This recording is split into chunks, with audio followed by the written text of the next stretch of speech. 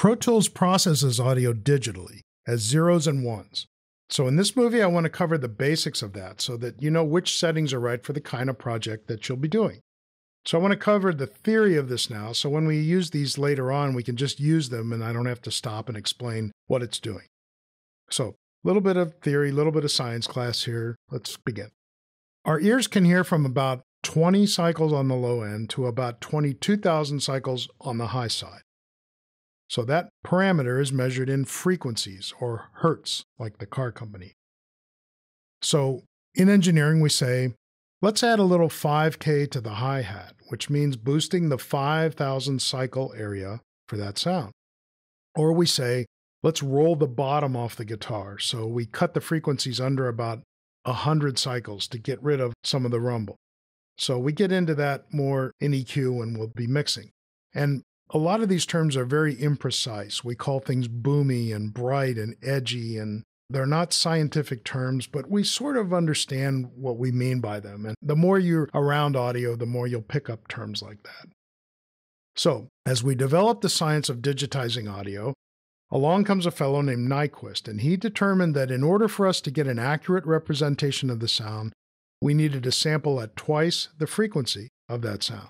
So, every sound has fundamentals and overtones. So, if we want to hear all the frequencies in a sound, up to the 22K limit of our ears, we should use a sample rate of twice that 22K, so 44K. So the lowest sample rate in Pro Tools, let me make a new session, and we'll just do a blank. The lowest one in Pro Tools is 44.1K. And that's the standard sample rate for CD audio, and most MP3s are 44.1K.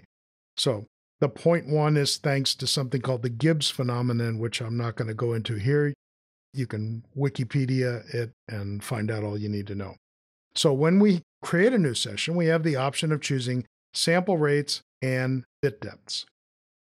Well, it's never quite completely black and white, but this is pretty close. In the world of music, we use mostly 44.1 and its multiples, like 88, and in the world of video and post production, we use mostly this one, 48, and its multiples, like 96. So there are higher sample rates, and if your hardware gives you the option of using those, you'll have a higher quality recording. Your files will be bigger, and you may not be able to play your files on some systems. This MBox, for instance, can only handle up to 48K.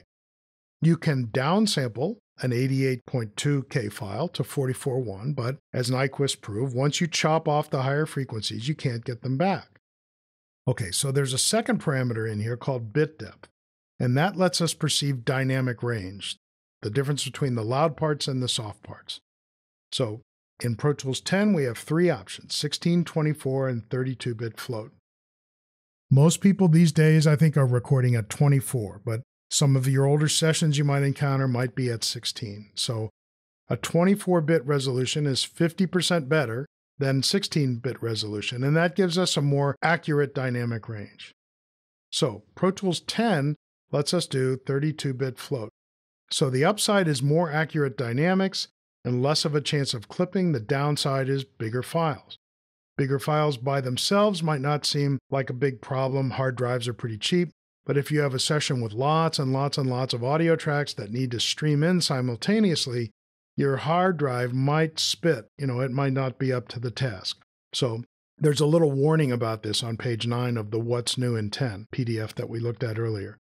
So keep in mind that what you set when you're creating a new session is not retroactive. It can't ever be better than its lowest setting. So if CDs are 44.1 and 16 bit and you can't hear higher than 22K anyway, then why use anything higher? Well, you have a better resolution in the range that you can hear, and the only downside is bigger file sizes. But if you want to keep it simple, use 44.1 for your music projects and 48 for your video projects. Okay, let's get past science. Let's get into the interface and let's see how all this science can let us be creative. So I'll see you in the next chapter.